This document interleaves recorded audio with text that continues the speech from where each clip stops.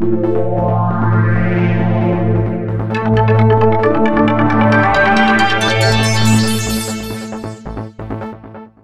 Здравствуйте! Вы смотрите календарь валютного трейдера, предоставленный для вас компанией InstaForex. С вами я, Екатерина Недачина. Первая половина следующей недели запомнится выходом следующей макроэкономической статистики. Во вторник в США будет опубликован один из наиболее ожидаемых отчетов, описывающий динамику розничного сектора. В июньской статистике аналитики ждут увидеть роста продаж на 0,3% по сравнению с предшествующим месяцем. Стоит отметить, что это существенное замедление, если сравнивать с показателями мая, когда продажи увеличились на 1,2%. Опубликованные данные совпали с прогнозами экспертов. В то же время апрельский показатель был пересмотрен в сторону увеличения до 0,2% с нулей. Подобный резкий прирост связан с ростом спроса на автомобили, предметы одежды, а также на строительные материалы. Объем розничных продаж, исключая автомобили и комплектующие, вырос на 1%, превысив ожидания экономистов. В среду ранним утром японский Центробанк примет очередное решение относительно ставки рефинансирования на июль. Эксперты не предвидят никаких сюрпризов от банка, ожидая сохранения минимального диапазона от 0 до 0,1%.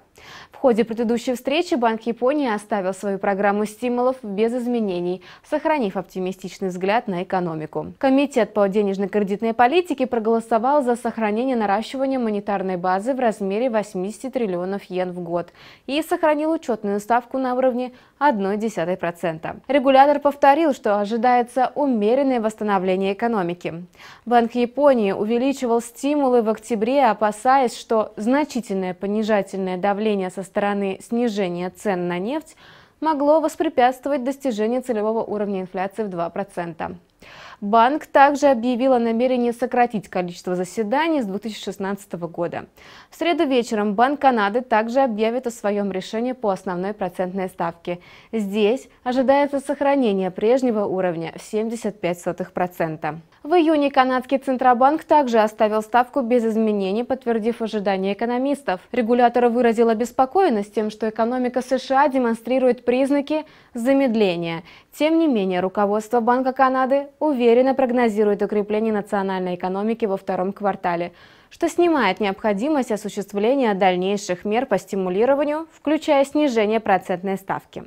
Кроме вышеперечисленных событий, в начале недели увидит свет следующая статистика. Так, в понедельник выйдет отчет по внешнеторговому балансу в Китае. Во вторник Великобритания выпустит индекс потребительских цен, а Германия и еврозона – индексы настроений в деловой среде.